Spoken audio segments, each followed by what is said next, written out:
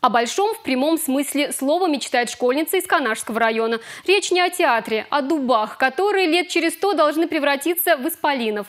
Риват Фаткулин познакомился с девушкой, которая еще в нежном возрасте задумалась о том, как будут жить ее внуки и даже правнуки. Копнул лопатой, посадил саженец, присыпал землей. Готово. Если так сделать много раз, будет лес. Нет, не будет, утверждает Даша Васильева. С раннего возраста, хотя и девушка только закончила 10 класс школы, мечтает возродить гербовое растение республики – исполинский дуб. Дуб черешчатый любит чернозем. И это самая лучшая, самая лучшая почва для него. Почву ну, будем смешивать 50 на 50 с этим грунтом и с, ме... с землей, с, родны... с родной землей, чтобы дерево, желудь лучше прижился.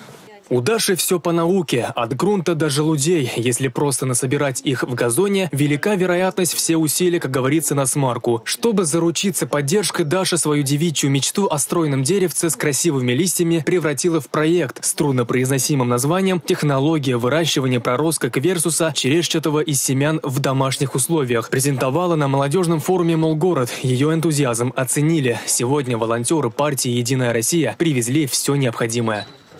Я очень рада, что мне помогли с финансированием данного проекта, и это как бы еще больше мотивирует продолжать это дело. В этом году мы тоже собираемся собрать желуди и в следующем году высадить их на постоянный участок. В прошлом году эксперимент попробовали высадить 16 дубов. В этом весной высадили 16 дубов как эксперимент, и прижилось у нас 10 саженцев. Девочка действительно э, болеет и старается реализовать то дело, за которое она взяла. И невозможно было пройти мимо, э, когда увидели, что такой ребенок целеустремленный имеет осознанное желание заниматься таким важным делом. Юный эколог понимает, что прогуляться в дубовой роще смогут скорее всего только ее внуки, только если она, молодая девчонка, сегодня прорастит желуди. Рифат Фаткулин, Николай Скворцов, Республика.